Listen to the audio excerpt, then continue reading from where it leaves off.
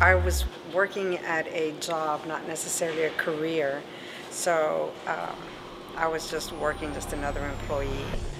Well, after um, turning 30 and having kids and that kind of thing, I, I knew I had to do changes in my life for my kids and, and myself as well. Uh, so I decided to look into college.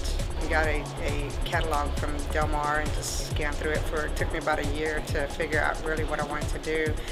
And uh, as I would, I would read it, I would always come back to the GIS program. So I decided that's my calling.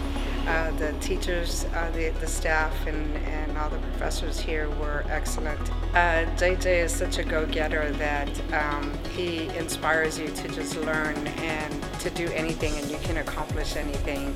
And Ms. Dufresne, her inspiration to, to have women succeed in life that was a big inspiration to me, and I saw that in her. So um, I figured that anybody can do it, male or female.